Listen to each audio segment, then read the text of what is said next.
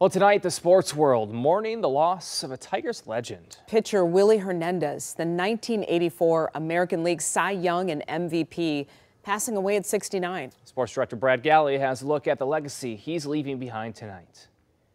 The Detroit Tigers are not World Series champions in 1984 without Willie Hernandez.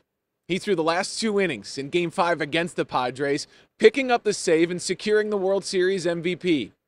Today, a fan base is saying goodbye to a legend. Hernandez has died at the age of 69, one of only three players to win the MVP, Cy Young, and World Series in the same season. Hernandez was a key pickup on the way to that 84 title.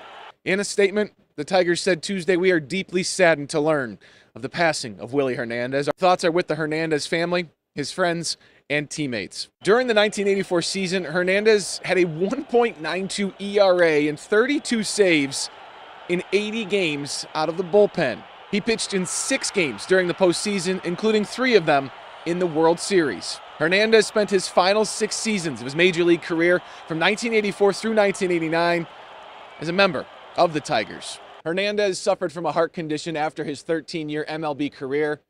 His family said he died in his home in Florida. Brad Galli, 7 Action Sports.